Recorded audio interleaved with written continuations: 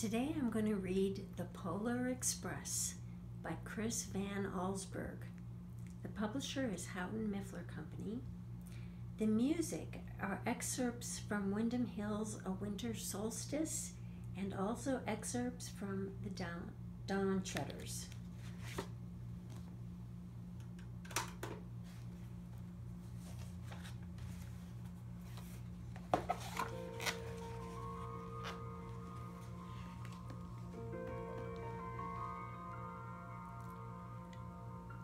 Christmas Eve, many years ago, I lay quietly in my bed. I did not rustle the sheets. I breathed slowly and silently.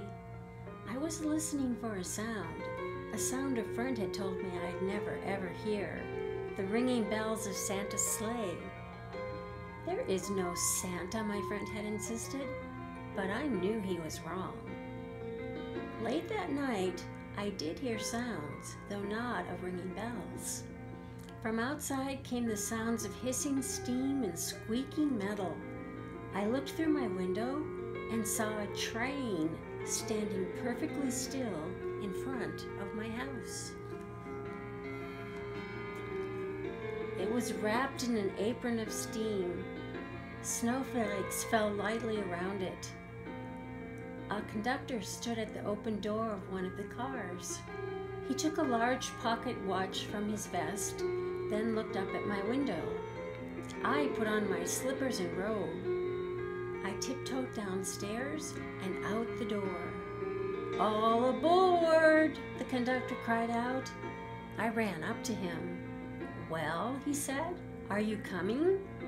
Where? I asked. Why, to the North Pole, of course, he answered. This is the Polar Express. I took his outstretched hand and he pulled me aboard. The train was filled with other children, all in their pajamas and nightgowns. We sang Christmas carols and ate candies with nougat centers as white as snow. We drank hot chocolate as thick and rich as melted chocolate bars. Outside, the lights of towns and villages flickered in the distance as the Polar Express raced northward. Soon there were no more lights to be seen. We traveled through cold, dark forests where lean wolves roamed and white tailed rabbits hid from the train as we thundered through the quiet wilderness. We climbed mountains so high it seemed as if we would scrape the moon. But the Polar Express never slowed down. Faster and faster we ran along, rolling over peaks and through valleys like a car on a roller coaster. The mountains turned into hills, the hills to snow covered plains. We crossed a barren desert ice of ice the great polar ice cap. Lights appeared in the distance. They looked like the lights of a strange ocean liner sailing on a far frozen sea. There, said the conductor, is the North Pole. The North Pole. It was a huge city standing alone at the top of the world, filled with factories where every Christmas toy was made. At first, we saw no elves. They are gathering at the center of the city, the conductor told us. That is where Santa will give the first gift of Christmas. Who receives the first gift? We all asked. The conductor answered, He will choose one of you.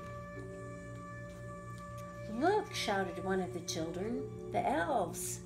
Outside, we saw hundreds of elves. As our train drew closer to the center of the North Pole, we slowed to a crawl so crowded were the streets with Santa's helpers. When the Polar Express could go no farther, we stopped and the conductor led us inside. Outside. We pressed through the crowd to the edge of a large open circle. In front of us stood Santa's sleigh. The reindeer were excited.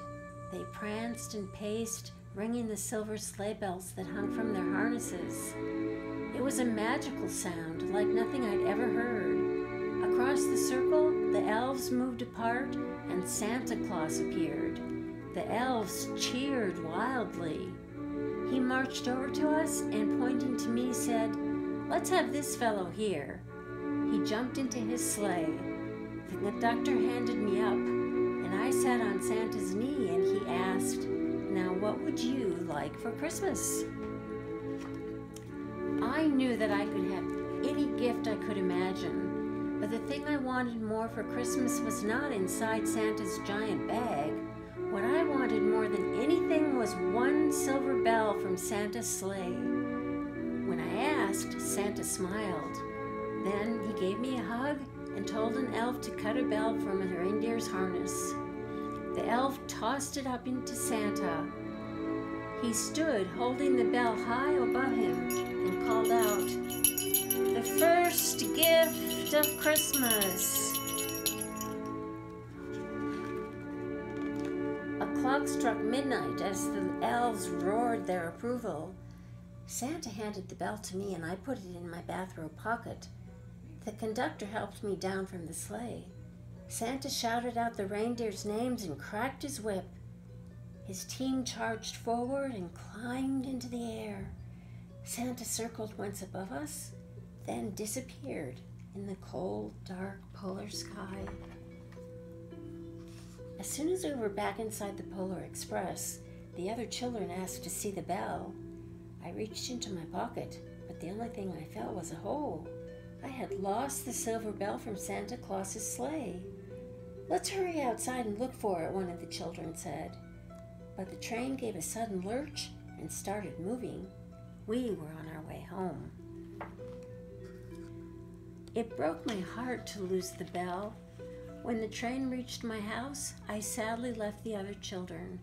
I stood at my doorway and waved goodbye. The conductor said something from the moving train, but I couldn't hear him. What? I yelled out. He cupped his hands around his mouth. Merry Christmas, he shouted.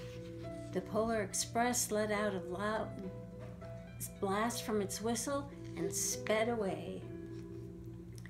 On Christmas morning, my little sister and I opened our presents. When it looked as if everything had been unwrapped, Sarah found one last small box behind the tree. It had my name on it. Inside was the silver bell. There was a note. Found this on the seat of my sleigh. Fix that hole in your pocket. Signed, Mr. C. I shook the bell. It made the most beautiful sound my sister and I had ever heard. But my mother said, Oh, that's too bad. Yes, said my father, it's broken. When I'd shaken the bell, my parents had not heard a sound.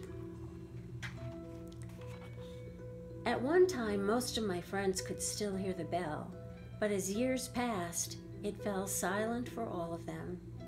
Even Sarah found one Christmas that she could no longer hear its sweet sound. Though I've grown old, the bell still rings for me as it does for all who truly believe. Merry Christmas.